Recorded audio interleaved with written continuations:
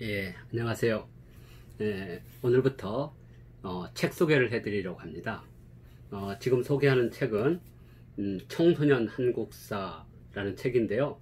어, 2010년에 나온 한국사 통사입니다. 어, 선사시대부터 시작해서 예, 근현대 시기까지 예, 총 12장으로 구성이 되어 있는데요. 제1권은 선사시대부터 고려시대까지 그리고 제2권은 제2권은 어, 조선시대부터 네, 지금 이 시대까지 해서 총 12장으로 구성이 되어 있는데요. 어, 이 책의 특징은 어, 남북국 시대를 특별히 어, 장을 설정해서 어, 상세하게 설명을 했고요. 또 이권에서는 우리가 보통 근현대 하면 보통 근대 시기를 1863년 흥선대원군의 집권부터 시작해서 어, 1945년 해방까지를 보통 우리가 근대라고 보는데요.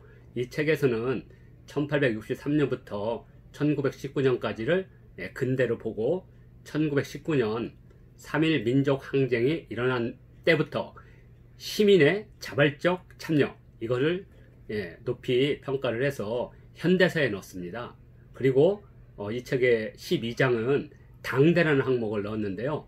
우리 사회에서는 예, 한국사 통사에서 예, 당대란 말을 쓰지는 않지만 이미 중국에서는 어, 등소평의 개혁개방 1978년부터 당대사로 규정을 합니다. 그래서 어, 이 책에서도 오늘 우리의 삶을 가장 결정적으로 영향을 준 사건이 무엇인가 이렇게 고민해서 예, 1980년 광주 민주화 투쟁을 예, 당대 사회로 봤습니다.